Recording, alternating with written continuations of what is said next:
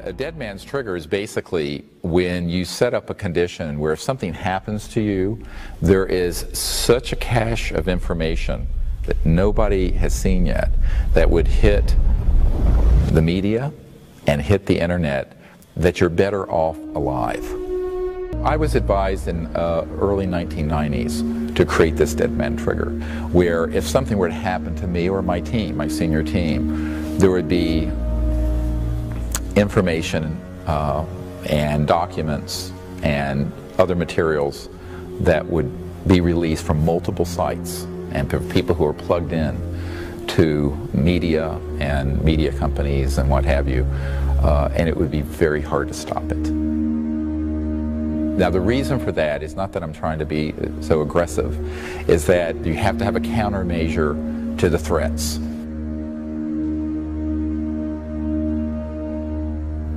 Whatever it is that people have seen that we put out so far, um, there's so much more. There's much more than the scope of a two-hour film can contain, or a hundred hours would contain. Uh, and some of it is, are, is information, documents, names, places, people. But it became very clear to me that, you know, you kind of had a tiger by the tail here, and that this was serious. And it was serious enough that we put this dead man trigger in place uh, right away. Remember the first time that you ever, during a meditation and and prayer for the healing of Earth, which you do quite often, um, invited the ETs to join us in that, and that was in Mount Shasta in 1999.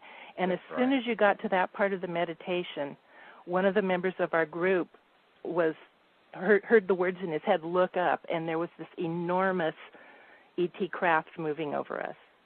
Yes, and in fact, that event, which we filmed, uh, is well, I didn't, but this gentleman did. Is is such an astonishing event because it was precisely at the point where we joined in with this whole interstellar community to put energy on the Earth for its healing and for its evolution to this time of universal peace and these new energy technologies coming out and the whole transformation of world civilization and uh, this beautiful half a million year cycle of universal peace that we're about to enter. And at that instant, literally, there was this massive, and it was two. It looked like a triangle with two points of light, it was like th- three stars making a perfect equilateral triangle, and it moved in. It was so huge, that some people couldn't see it because it was so big.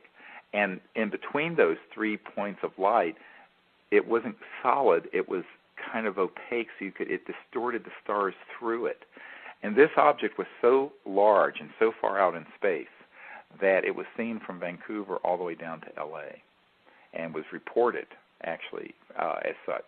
It came three times out of the five nights we were there that week. And every time it came at that same point in your meditation. It came at the same point. We've since learned that this was an enormous craft that was in, on the order of hundreds to thousands of miles across. And it was very deep space, and it lit itself up in that configuration as a confirmation of what we were doing. But at the same time, it was it's it's we we have seen it at other times. Six months later, we were up in uh, upstate New York, and had the had the exact same craft come twice on the same night, and so it, it was sort of their way of saying, yes, this is exactly the kind of energy and philosophy and concepts that we want to interact with. Uh, we welcome all species, any race, any color, anyone from any star system. If they can get here and they're allowed off their planet, it means that they're peaceful. Because, how do I know this? We've tried to go off our planet. And the guardians of the universe have said, Niet, no, no, not going there yet. Go home. This is why this is what Neil Armstrong meant when he said, when we landed on the moon, the, cra- the crater was crowded with extraterrestrial vehicles, and they did not want us coming out there yet. Why? Because we were going out there as part of the Cold War. We were in a space race with the Russians. We were doing this within a paradigm of division and militarism and war. The entry ticket to going out into space is universal peace. Not just peace on Earth, that's, that's too old. That should have been 100 years ago. Peace in the cosmos, peace universal. And that's the time we're in, because that is the requirement of the current hour. It isn't enough to strive for world peace. It has to be universal peace. Because God help us if we unite the world around an Independence Day type scenario where all the people of the world are united in peace because we're fighting an interstellar civilization that's being masqueraded by the secret government with ARVs and what have you. Don't be fooled again. We have found, and we've had this confirmed by military and, and top secret people who've worked in uh, studying the extraterrestrial spacecraft that have been retrieved over the years, they have found that, in fact, uh, their technologies interface directly from thought to the machine. So it's not even about touching some dials, it's about they think and there's an actuation of that command in the spacecraft for guidance or for traveling through space. Very, very advanced technologies, and we're going to get into that and why it's so important that we understand this. Um, I remember one time in England, um, we were actually on Marconi Hill, which is uh, in Wiltshire, where Marconi sent the first telegram, in fact, and it was part of the Royal Trust lands, but we were up there and had permission to use it. And we were doing this um, uh, protocol for contact, and we were had done a deep meditation, and the whole group had gone into this state of unbounded mind, and then we had remote viewed deep space, and we had turned it around and vectored, as we call it, or, or guided these ET craft into the area. And about that time, we were then looking around at the sky, and it had cleared up, which is uh, nice for England. And suddenly, there was a very bright object that came over that looked like it could have been a very bright satellite. My intuitive remote viewing of it was that it wasn't, but there were some left brain engineer type guys there, and they said, "Oh, it's a satellite." And they, and I said, "Well, let's ask it to do something a satellite absolutely can't do, because perhaps it isn't." So we sent that thought to it, and at that instant, I mean, not five minutes later, but instantly, it stopped and made a right hand turn and went shooting off into space and everyone's mouths dropped open. And I said, "See, this is what can happen." And it's it's an it's it's exactly the sort of thing we've had happen literally hundreds of times uh, over the last uh, decade or two, and it it illustrates how precisely uh, thought can interface with these advanced extraterrestrial uh, beings and their spacecraft because their technologies all the time are scanning through that energy field that some have called astral or thought or conscious as easily as you and I pick up a cell phone or a regular telephone and call each other. There are three major steps to this. First, going into unbounded mind and the state of the samadhi, the relaxed state of mind. Secondly, to then actively remote view the presence and location of the extraterrestrial vehicles. And then third, to turn that into a vector where you then connect with their electronics and their individuality and their craft and show them your location. So if you, let's say you see them out near Saturn, and there's a very huge craft out near Saturn now. Had a Defense Intelligence Agency general tell me about it a couple months ago. he turned ashen white when he saw the images of it. Um, you know, one of the ones that we're tracking out in our solar system is 26 miles across. One ET vehicle, 26. It's the size of the LA basin. Anyway, so, um, believe me, if they were hostile, it would have been all over the time we, uh, believe me. Before the monkeys started developing thousands of nuclear weapons, it would have been point, set, match, over. You know, forget about the invasion stuff.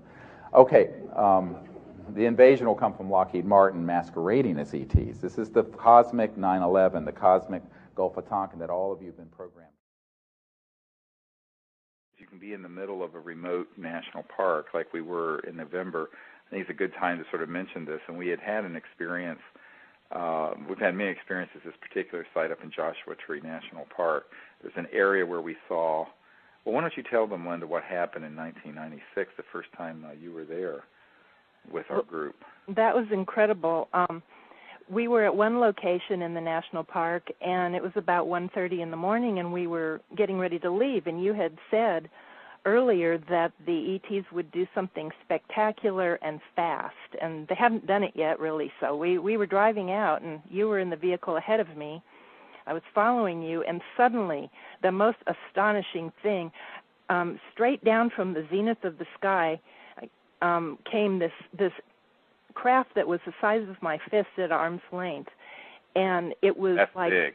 it, it was very it was one of the biggest things I've ever seen, and it was um, almost fluorescent, kind of teal and sparkling white, and in the shape of a Hershey's Kiss, even with like the white paper at the top was you know kind of like white light, and it just came down straight, and as it approached the ground, it illuminated as far as we could see the whole the whole ground, and this was I don't remember about half a mile away from us, I think, and um, it illuminated the ground in white, and I expected to hear a loud crashing sound or something. It just when it it, it shifted phases, went into the ground, and and um, you spotted the exact spot, and we drove to it very quickly, and about 15 of us saw that. Yes, and what's interesting is that that area uh, has been where we've uh, had our contact site uh, since then for the last uh, 10 or 11, 12 years, and we'll be going back there actually in November.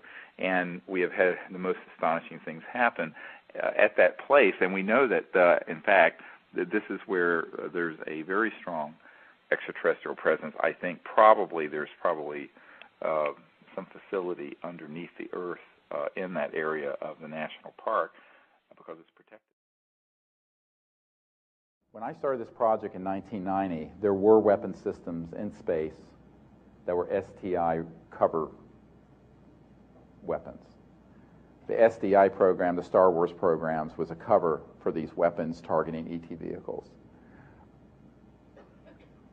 Now, 20 years later, they have gone up exponentially in their efficacy. They actually were in orbit by 1965. There's a man on our team who actually worked with Hughes Aerospace and some of the other big industries back in the mid 60s here in, in, in, the LA area who helped put these weapons in space and design them.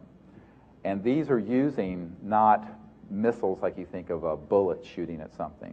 They're using what I described earlier, and these are these electromagnetic weapons that can actually completely destroy something faster than the speed of light, because the scalar longitudinal weapons go faster than the speed of light.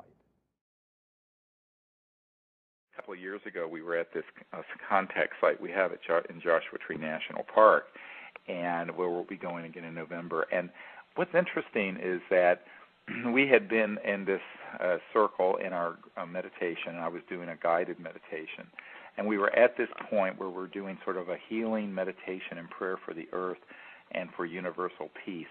At that moment, a craft emerged from the area where we had seen this one land in 96 into the desert. And in fact, it was so bright it lit up the whole desert then.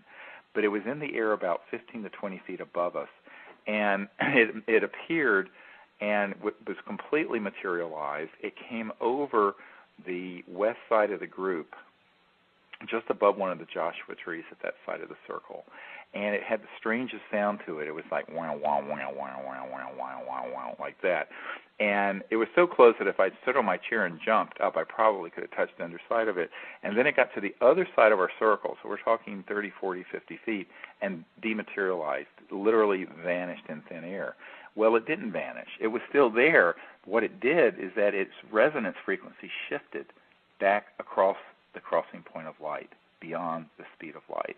And so they can phase in and out. It's sort of like I, I tell people like those old radios, like you can tune, t- dial the, the the station, and you can sometimes hear one station and then another, and you can get between them, and there can be both. Well, often we will see that they will be kind of between the two, where they'll not be solid materialized, but they won't be completely invisible. There'll be this sort of scintillating uh, almost astral uh, energy field that you'll see that's in the shape of a craft or a being that'll be literally in the field with us. And people you know have to blink and say what am i seeing here?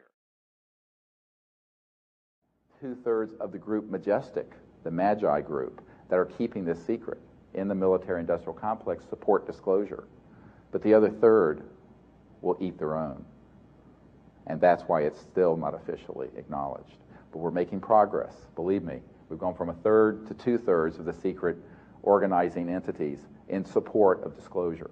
Now, you say, well, isn't that the majority? I say, yeah, but this isn't a democracy in this group.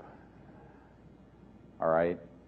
The one third who are the hardliners are also the one third that like to kill people. They're the ones who are the eschatologists who want to see the world go through a, a, a collective death experience.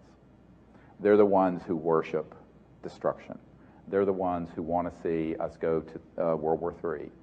They're the ones who, when someone in their own group steps out of line, like former CIA Director Bill Colby, who is going to provide for my group an operational free energy device and $50 million in seed money to get it out to the world. This was in the mid 90s. They found him floating down the Potomac River the week he was going to meet with a member of my board. That's welcome to my life. Let's set the stage here, which is kind of where I wanted to introduce this. We were out in the center, the dead center of Joshua Tree National Park, uh, 20, 30 miles from any civilization, any source of microwave towers or anything like that.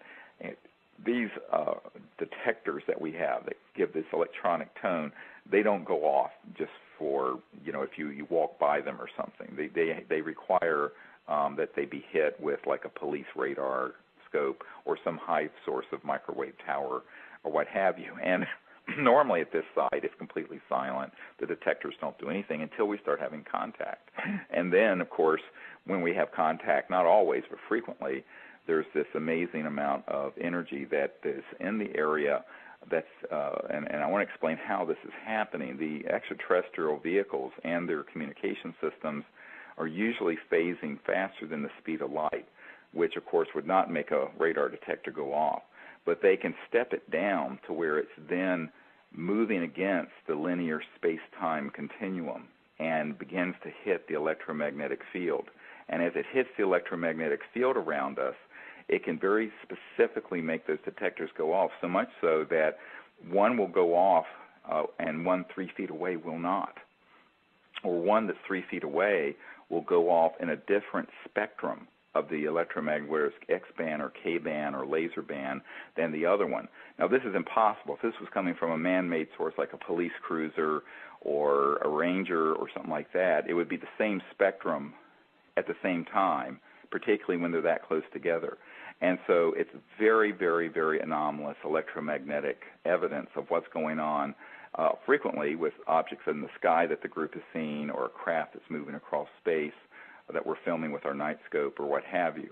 And that's what happened this week, and it happened for five hours with these right. detectors, uh, a total of about five hours of continuous. Uh, and the transmissions, the electromagnetic beeping you hear, are actually just um, evidences of packets of uh, information that's being communicated into consciousness. And while these things were beeping, while all these detectors were beeping, um, I was in a state of consciousness where I was uh, super awake, if you can use that concept, or in a state of cosmic consciousness, uh, where the packets were coming in, and then I was able to translate what the meaning of the packets of information were uh, in sequence so that they would beep and I would translate and then it would go on. This went on for hours, and we actually have a very good recording of that. We're calling these the Orion transmissions, and it was, uh, of course, 40 some people observed this, and it was um, a life altering experience, I think, for everyone who was there.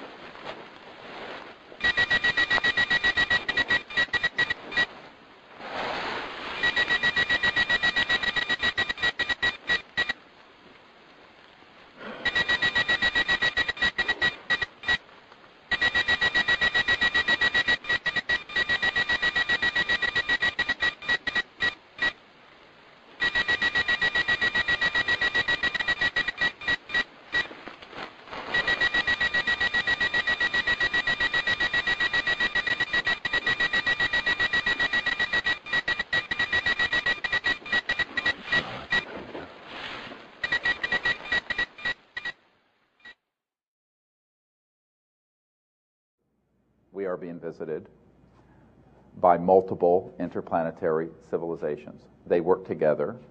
Some of them are 10 to the sixth to 10 to the seventh years more developed than we are, meaning in the hundreds of thousands to millions of years more developed. Uh, others, maybe a few thousand years down the path from where we are. None of them are hostile. They are all, however, concerned with our hostility.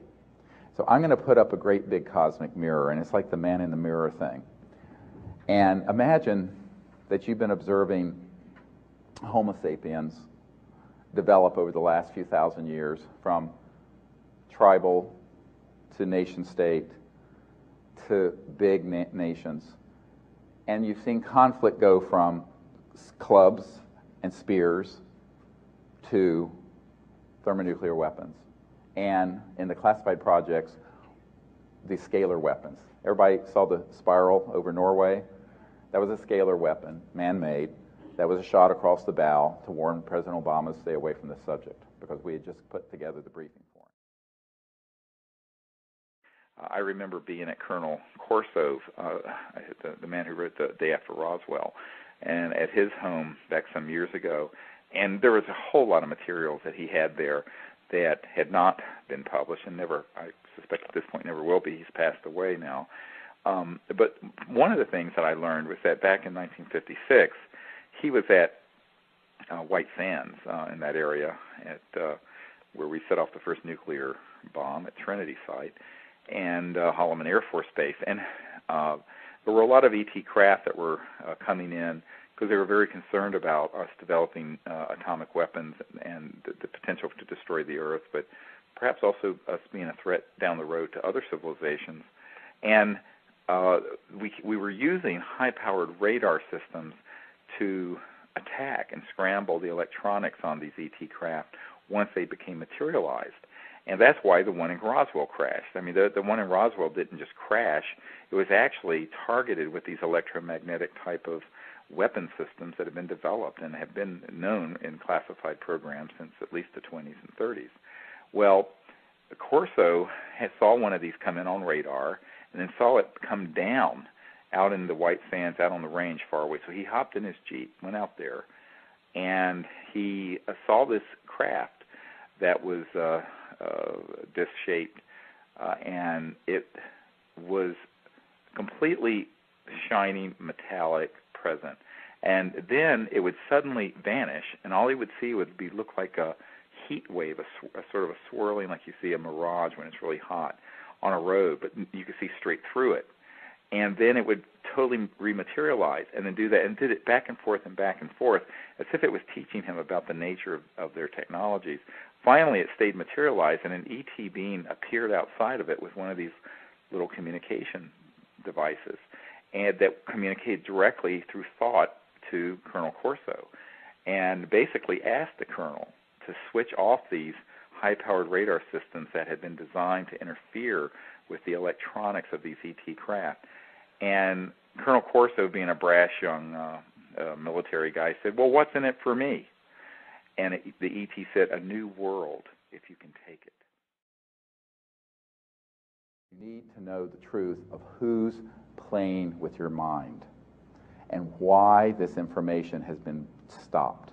They are desperate for people to have a new enemy. Because, look, there are 70 Al Qaeda in all of Afghanistan. This by the acknowledgement of the CIA. 7 0. This we have 140,000 troops chasing at a cost of over 100 billion a year. Come on. You know, they have to keep this machine alive, and the next big thing to play is the alien card. And we're about a minute, a nanosecond from that. Don't be fooled again. And this is why I am the most hated person in the UFO field. It's because I am absolutely have the, the data, I have the documents, I have the witnesses that, in fact, there are abduction squads being run by secret government human entities using program life forms and ARVs, alien reproduction vehicles, and very ele- advanced electronics. This is not a conspiracy theory. It is exactly what's happening, and this is why you have all been diseducated. Not miseducated, deliberately diseducated. For the purpose of preparing you. And the New Age and UFO subculture is the vanguard of those purveying this information to others, ironically. So you have all become the carrier vehicles, not all of you, many of you have become the carrier vehicles for launching interplanetary war. What great news. Now, because I'm here in Los Angeles and it's the 50th anniversary of a beautiful lady passing named Marilyn Monroe. Knew Marilyn Monroe was? Um, I want to have a document here.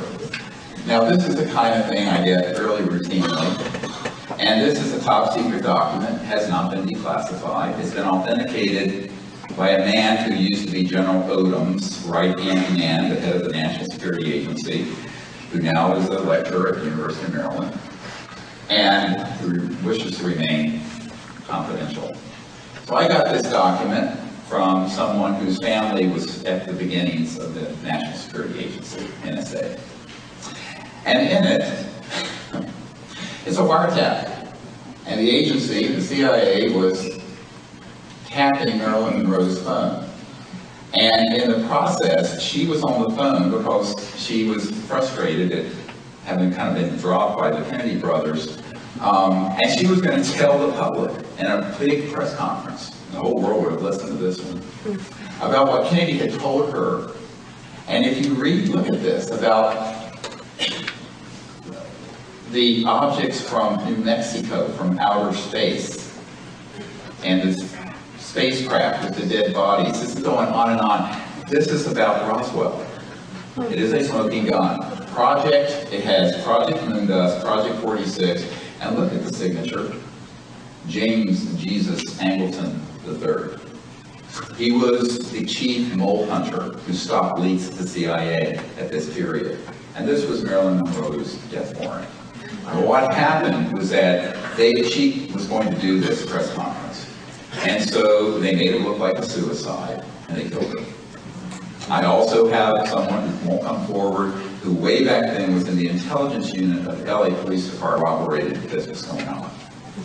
You have to ask the question then, what exactly is so key about this that they would do that kind of extreme measure to someone who was fairly innocent. She was an innocent bystander who learned something, and she was going to talk about it.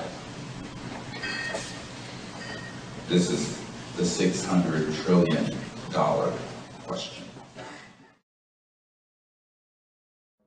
There's a multi-trillion dollar interest group, the military industrial complex, that's very attached to having the next war be interplanetary. Uh, we had, uh, of course, Douglas MacArthur on his last speech to uh, the world uh, from the well of the Congress. This is a matter of the, in the congressional record said in the 1960s, World War III will be interplanetary. A very bizarre thing. People said, what in the world is this man talking about? And it was by then that the plans had been put in place that Wernher von Braun, who, of course, as you all know, invented the rocket for Adolf Hitler, uh, became the core of our space program in the United States after the OSS put Operation Paperclip in place to bring the brilliant Nazi scientists into the United States, and Wernher von Braun was one of them. And he told uh, his assistant uh, for many years, uh, Carol Rosin, who's one of our uh, top uh, secret disclosure project witnesses, that in fact a plan had been hatched in the 50s to hijack this subject and to put out the disinformation so that the people eventually would accept that there was an enemy in, in space and that they, they would attempt to create an interplanetary conflict.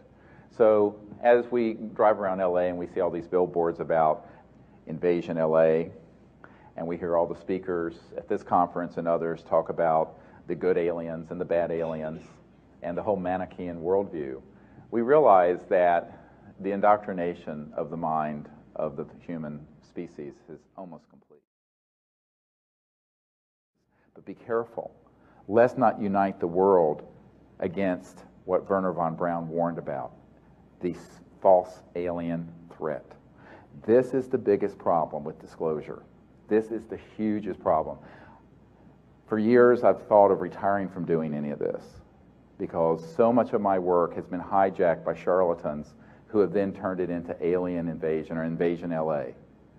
And, you know, people come to my things, they find information, and they turn into a horror flick. They take the stuff we've done and they turn it into another book, and they'll tell you that the evil reptilians and the Greys are here to eat us for lunch, and the, the, the Venusians and the ones that look like they came from Scandinavia are our friends, and, we have, and we're going to have this big. This is all part of a Manichaean, absurd paradigm propounded and, and, and actually forced out onto the public through either unwitting dupes of the intelligence community or the intelligence community itself. And the purpose of it is to cause people to have a new enemy. And even if you say, well, there are a thousand ET species out there that are good, but there are a couple that are bad and we need to resist them and fight them, they've got you. They've got you in the Manichaean, they've got the new enemy. And that's what they want you to believe. This is why so much work went into PLFs, program life forms. And if you look at the videotapes of some of the things like what uh, Stan Romanek, I've been at his home, that one that's in his kitchen that's going like this, that's actually one of the PLFs. And the intelligence community had called him up and said, this, Stan, this is one of the fake ones.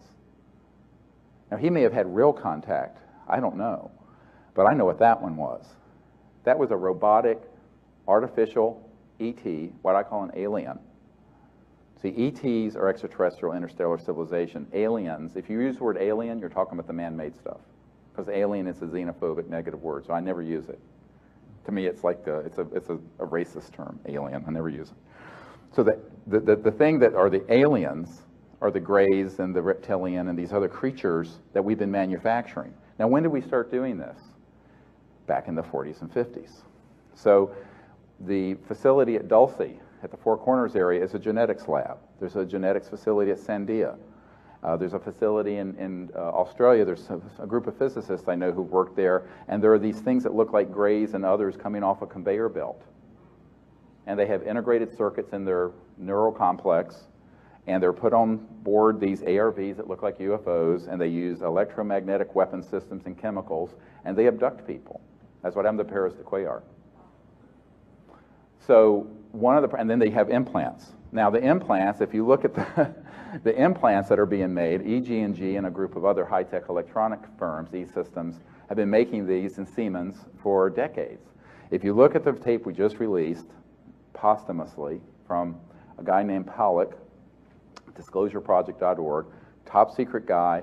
He had worked with a man who developed back in the 70s some of the uh, implants that they began to uh, mass produce. Siemens made about 2 billion of them at the time. And these are implants that are RF frequency, radio frequency, um, and they, they both connect satellites, but they can receive signals and they can affect on a scalar level of what are called psychotronic and radionic type of, of effects. These are the ones that are being put in people. And you know, the, the folks who are extracting them, I've, you know, I, have looked at the data on it, and I'm going, yeah, but I know who's manufacturing this. Now, what they're going to do is say, see, the aliens have done this. So this is the cosmic 9-11 that none of you know about and that no one wants to talk about. And this is why I've been blacklisted off of George Noory's show, because I talked about this. Coast to Coast won't let me on because I've revealed this. I had a man who was on the planning committee in 1974 for the intelligence community and the corporate aerospace world who came to the briefings we put together for Congress in 1997.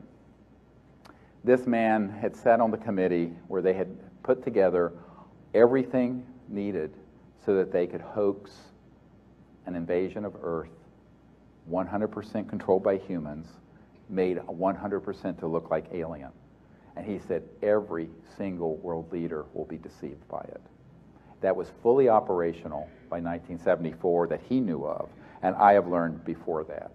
This is why we have to be extremely careful, I mean extremely careful, not to buy into the xenophobia and the fear because I can tell you right now, the only thing we have to fear are our fellow humans on this.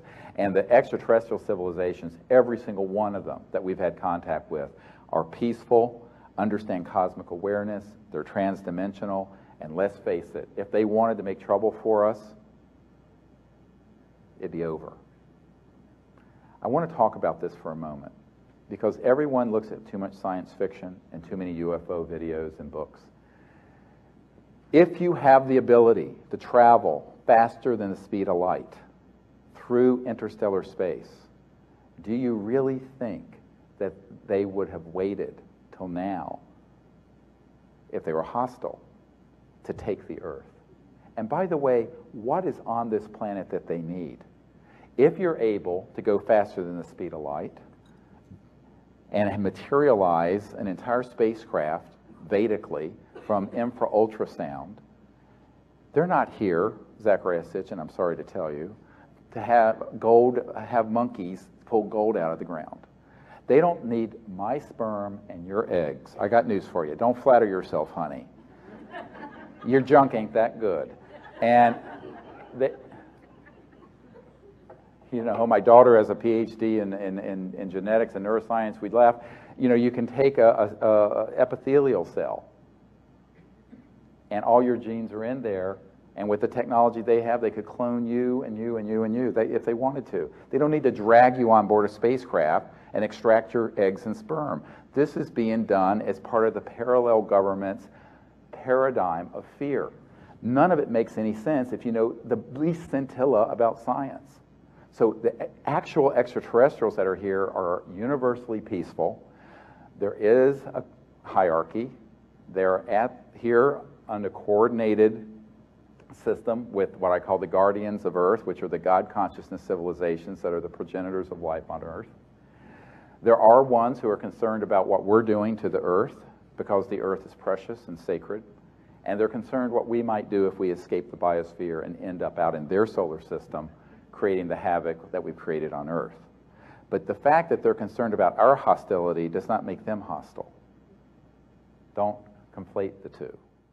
You understand? All right, well, hold, hold, hold a name. Uh, I'll tell you what, you're calling about Dr. Greer, right? Yes, I am. All right. I'm, you know, I've interviewed Dr. Greer uh, over the years, right? Yes, sir. And I've always warned Dr. Greer that what he's doing, I- in other words, if everything Dr. Dr. Greer is doing is real, he's in jeopardy. He's potentially in jeopardy. If he's going to pry a secret from the government that they don't want pried open, then he's in jeopardy, isn't he? That is so true. And All this right, is- I, I want you to listen to something. All righty. All right, I want you to listen very carefully what, what I'm about to play, and then I want to get your reaction to it. This appeared on Dr. Greer's telephone. mail for CSETI number That's Dr. Greer's wife, I believe. 301-249-3915, recorded message dated July 19th, 2004. The time is 12:35 a.m. Seventh, saved message. Stop prying into the government matters or dire consequences will result. Dire, July cons- dire 19th, consequences. 12, Listen, listen 30, carefully. 5 a.m. Here we go. 4 is not a valid entry. To repeat this message, And here it, here it comes.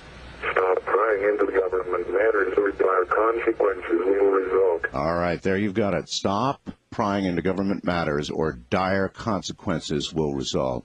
If you got that on your phone, how would you feel if you were Dr. Greer?